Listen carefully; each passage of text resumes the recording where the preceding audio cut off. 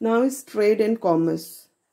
Number one, the Sumerians had a flour- flourishing trade as the two rivers provide a good means of transport. It's a very clear. I don't think you need uh, uh, explanations. The trade was uh, really very beautiful, very flourished because of the two rivers give the good means of transport transportation. Because if the transportation system is not good, their trade means in means ഒരു സ്ഥലത്തിൻ്റെ trade or business will never be developed or never be flourish but in മെസോപ്പൊട്ടാമിയ is uh, situated uh, between the two rivers so it's uh, it's a good means of transport they provide a good means of transport food supplies food grains were the main items of export they exported them to uh, egypt and Me- egypt and egypt and mediterranean countries in return they imported stones timbers and metal ores uh, they supply food grains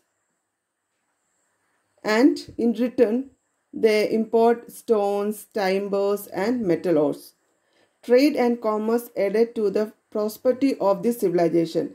As usual, ബാക്കി first Indus Valley civilisation പോലെ തന്നെ Mesopotamian civilisation was really very ബ്യൂ very flourish prosperity ആയിരുന്നു ഈ civilisation ഒത്തിരി ധൻ സമ്പത്തുള്ള ഒരു ഒരു civilisation ആയിരുന്നു Mesopotamian civilisation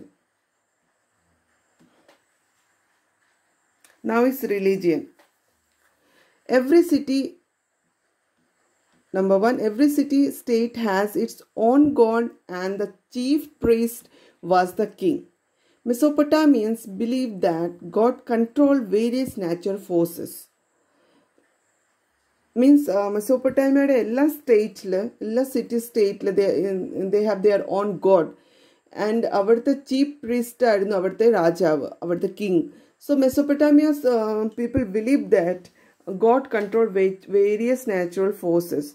God Enlil, Enlil ruled air and storm. Inanna was the goddess of love and war. Means അവിടെ രണ്ട് ഗോഡിനെയാണ് ഹിയർ വി ക്യാൻ സി ഇനിൽ